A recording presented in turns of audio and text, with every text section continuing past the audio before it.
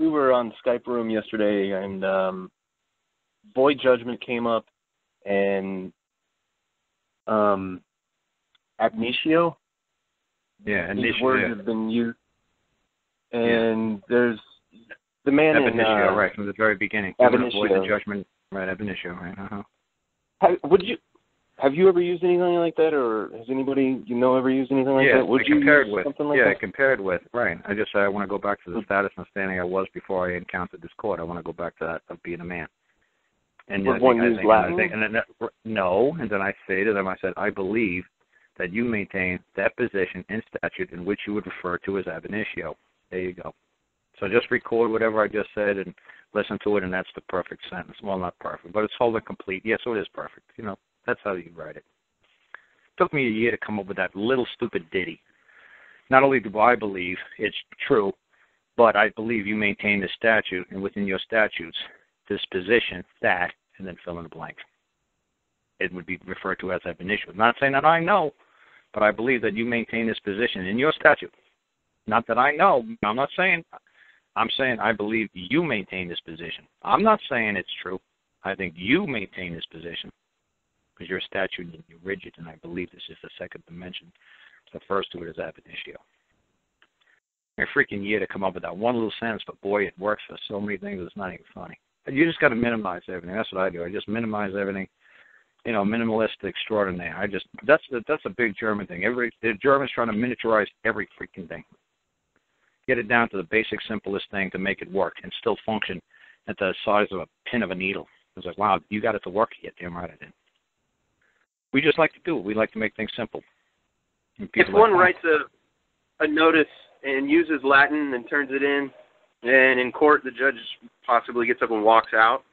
No, the Um, judge could. or- no, the judge. No, no, the judge. What he, the judge. I mean, what I love telling people all the time. How would you like? Oh, we, we used to have an issue. Okay, now how would you like this very learned, very wise, very educated judge to say every single thing in that hearing and trial in Latin?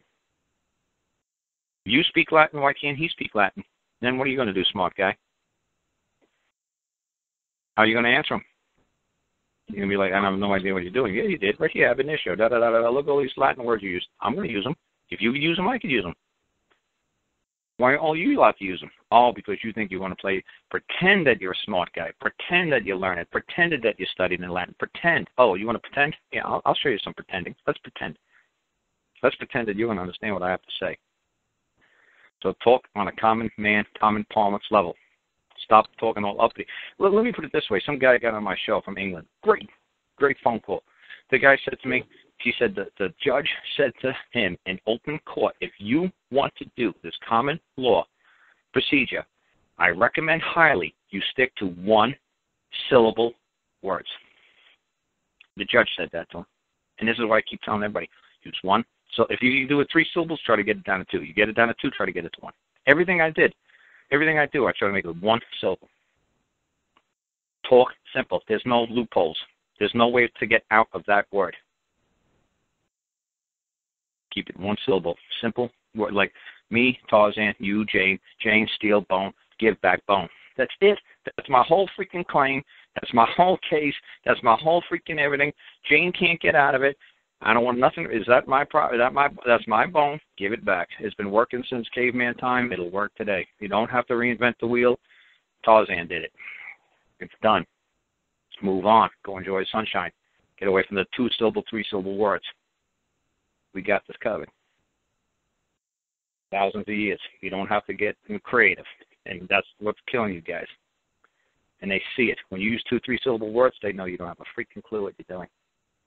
Oh, you're going to try to talk uppity to me. Oh, we're word nerds. Oh, you want to cross words with us? Oh, you early. Let's play. Let's have a game. They're going to eat you for lunch. Talk like a man, and they'll know you're talking to meeting a man. How did God do the commandments? Thou shalt not kill. Thou shalt not steal. You know, what did he say? Well, let's be reasonable about this. At times, you know, we could, you know, uh, he didn't, he didn't start using two, three syllable words. Made it simple, made it clear. That's the law. Simple and clear. Not ambiguous. If it's ambiguous, it's not good law. I mean, you could actually Google that. If it's ambiguous, it's not good law. You could actually do quote unquote. If it's ambiguous, it's not good law, and you'll see it's in so many statutes and so many code books all over the world. That's the basic general golden rule. if you could have more than one interpretation for a word, it's not it would not make uh, good law. Like if I said to you, what does uh, the word blue mean to you? And why? And what would it mean? Um, I would think color first. Perfect. 99% of people on Earth would think of me as color first. 1 or 2%, you know, let's say 95% think it's a color. 1 or 2% would say, uh, blue, it's a feeling, it's an emotion. Another person say blue, you mean like I blew up birthday candles? Another person would say blue, you mean like a, you know, a, a, a form of a uh, American African music that they brought over with them from Africa. They the, the blues is a style of music, you know, blue, you know, what you know. So like I said, so a good law, if you said the word blue, and there was something in there that had to do with color, that would make good law. It would make sense to everybody. Ninety-five percent of the common poems, the common man, the common law, the people would understand that word. And Algonquin blue means, you know, they say it a different way. They might say it they might say, um, you know, pish posh might be the word for blue for them, but we wouldn't know what that means. But they know what it means. It's their common term, their common parlance, their common law. And when I was talking to Bill Thornton on another guy's show, Bill started to understand what I was trying to say. It's like, Bill, you're doing old English common law for the old English Crown Legal Society, Bar Association. I said, that's not common law of the Algonquins, of the Welsh people, of the Irish, or whoever was over there. I said, it's not the common people, the common terms of art. People didn't know what a trover or a plebeian was, I guarantee in merry old England. Only legal lawyers did.